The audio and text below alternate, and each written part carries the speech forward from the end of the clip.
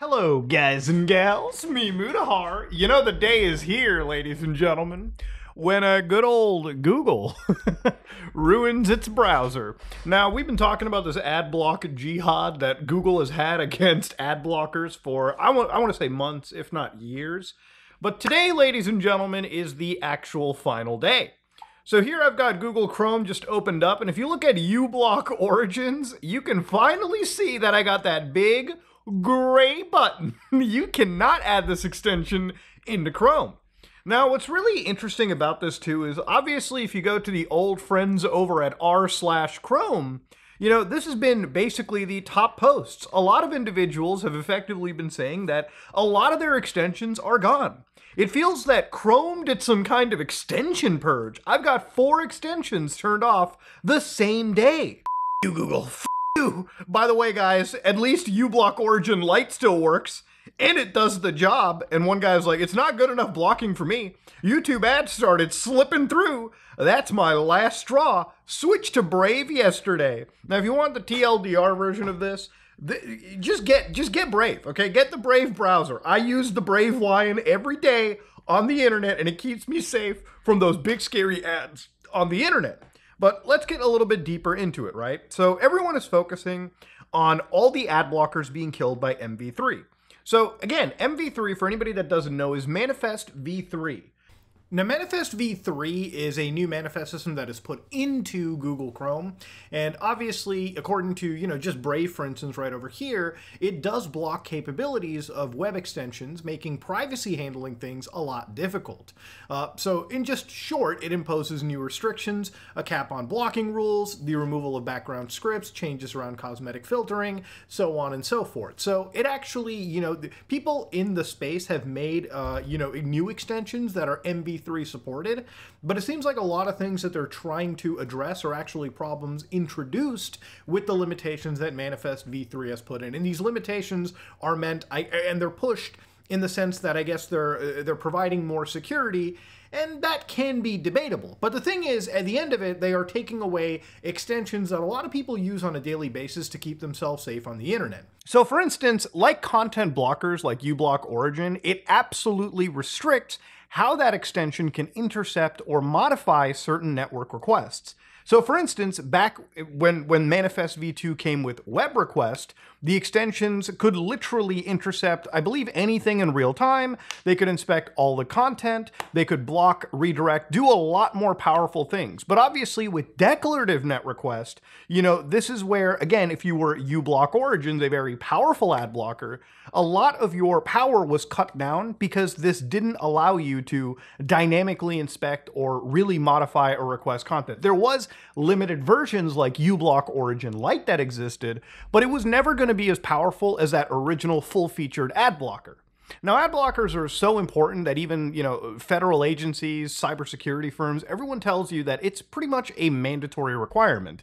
I would say, on a personal level, I would recommend you have a good ad blocker. I don't care if you use a, a, antivirus. I don't use an antivirus on my systems. I just use common sense.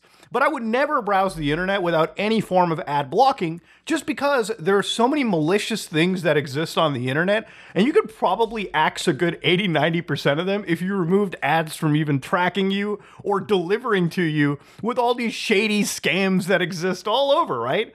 Now, a lot of these companies are putting in tons of money into making the next big browser, right? So you got like companies like OpenAI that are making like the next big AI web browser. And and again, the, the most important thing for I guess some of these companies is to have access over your browsing.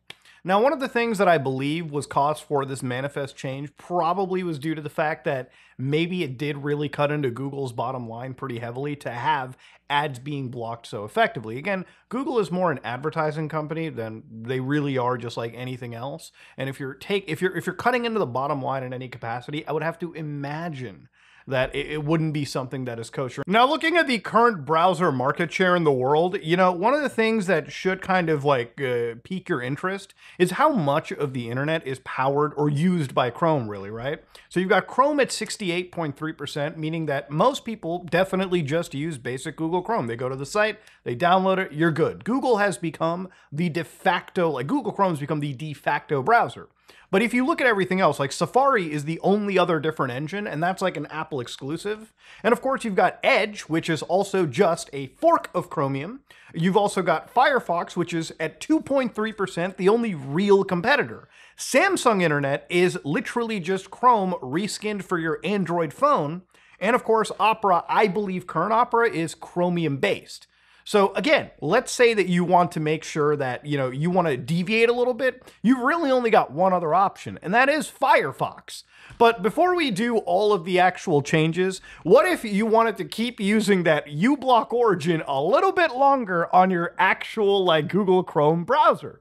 So before a new update, there are ways to actually get access to uBlock origins again, or a lot of these Manifest v2 extensions for a little bit longer. So for instance, let's say you're on Google Chrome, open up a new tab, and ladies and gentlemen, you want to type in Chrome colon slash slash flags. And inside over here, you got like, warning, experimental features ahead. Now underneath here, you'll see temporarily unexpire M136 flags or M137 flags. So depending on which version of Chrome that you're on, right, down the road, you will have to change this a few more times as the versions update. So over here, you want to go to M131 flags, you want to hit enable, and of course it's going to ask you, you need to relaunch your browser. So again, we just hit that little relaunch button, everything is redropped, and boom, we're back at the Chrome flags menu. So now the Chrome flags menu, you want to go to extension, manifest, and then of course you've got all of these like warning stages, disabled stages, unsupported stages, okay? So you want to go to allow legacy manifest versions, you want to make sure these are all disabled up here, and hopefully if all this is done, one more relaunch should allow you, in theory, to keep uBlock origins. So for instance, if we go back to the site, woo, we get to add that to Chrome. Now, this doesn't mean that it's gonna be around forever, ladies and gentlemen. At some point, this will be sent to the big old cemetery in the sky. So really, what's a better change here? Is there any actual competitor? Well, for one, you can go to Brave Browser. Now, Brave Browser offers you a little bit of a compatibility layer for this. Like, they're kind of supporting Manifest v2 for a little bit right now. But that doesn't mean the support is guaranteed down into the future. So even if you go to Brave, which again is just another Chromium browser, a very good one in my opinion, and one that I use on a daily basis, let's say today was your chance to say, fuck Chrome, fuck Google, I'm to switch to the Firefox, okay? Well, Firefox is actually, from my understanding, keeping Manifest v2 pretty much on the board. So a lot of those ad blocking tools that Google wants to get rid of, Firefox is absolutely going to be down here and keeping it, right?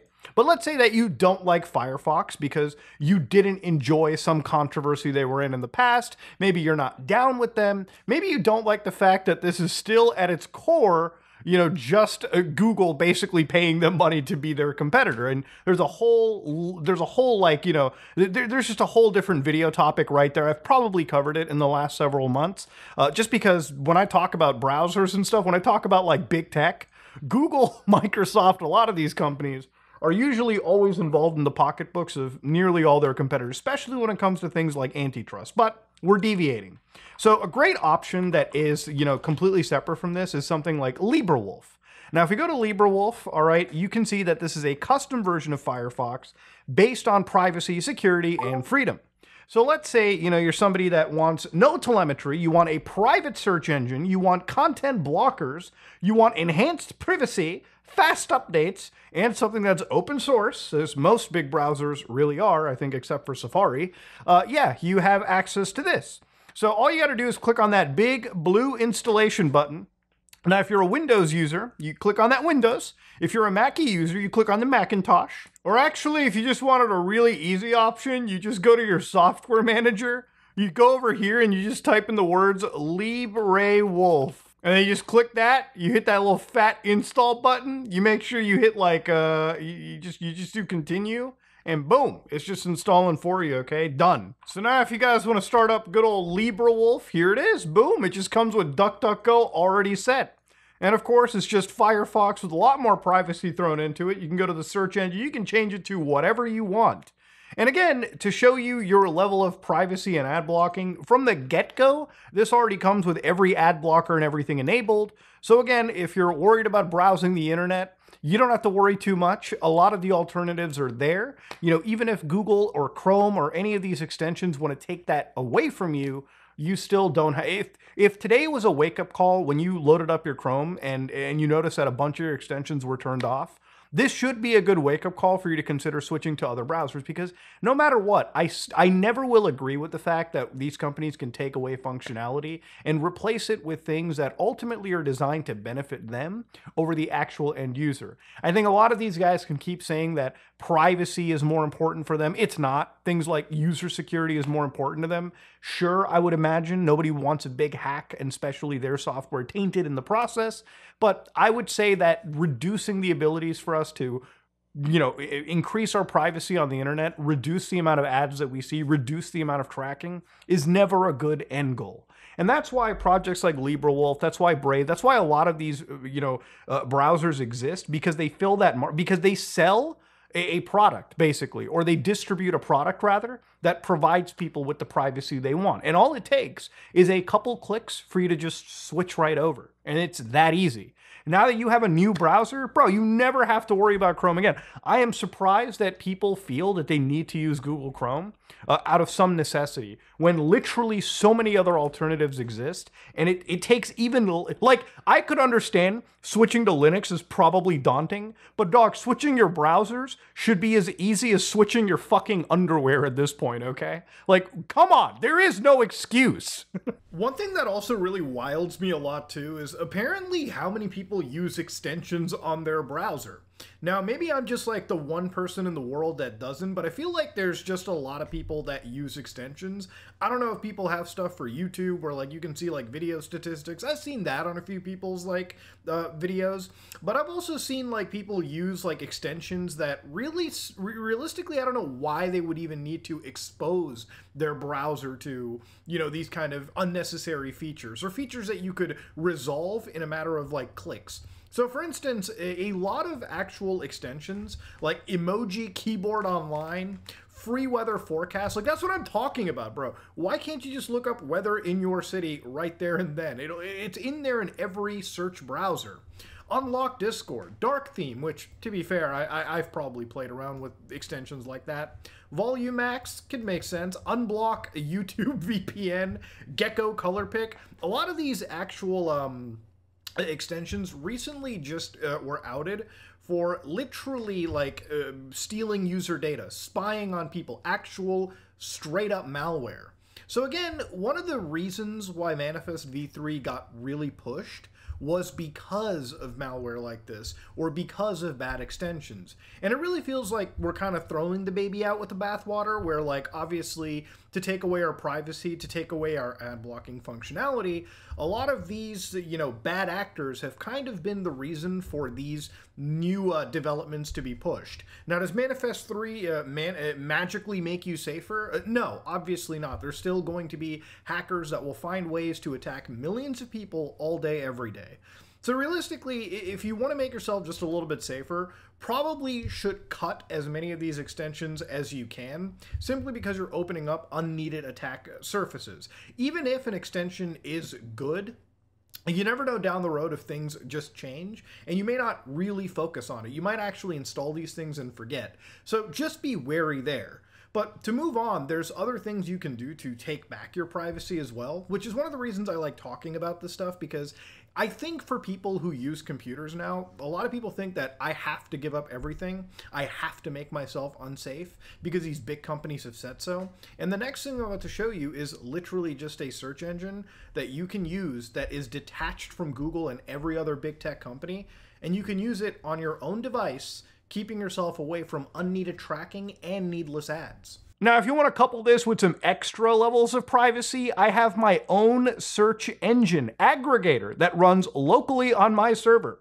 So for instance, I can use the Seer G to do my search browsing across multiple search engines without giving up my privacy, without giving up my information, and I get the benefit of everything, right? So literally right over here on the search engine, if I just go, why is Manifest v3 not safe or private? Uh, I can just basically uh, hit, hit that big old search button. And granted, it's not as fast as some of the big cloud stuff, but with a response time of about one second, I'm getting results that are far better and far more aggregated from all of the search engines in the world. Uh, again, you can mix and match which ones work for you. And not only do, you know, I get the results that I really want, like better results than I would find on any standard search engine, I can literally have, you know, these things, you know, filtered out to like a week ago, yada, yada, yada. Uh, and then again, I can also use this to search for, again, the images, uh, also news. Everything is just faster. Everything just runs a lot better for me over here. And overall, maybe it's not perfect, but since it's also self hosted, a lot of what I search for, a lot of my requests are anonymized. I have more privacy. And again, if you're noticing, there are no ads here, and there is far less tracking than you can imagine. This by far may be one of the safest ways to browse kind of the internet or at least search, especially in a world where we've got so many depreciating search engines and eh, ever rising AI tools as well. This is the best way to keep yourself safe. These are just a few tools in my arsenal. And if you're interested, I'd be totally down with making a video showing you how you can set this up and have it running 24 hours on your home network without you. Once you set it up, it's so easy to forget and let it just do its thing. So yeah, anyways, I've kept you here long enough. If you like what you saw, please like, comment, and subscribe. Dislike it if you dislike it. I am out.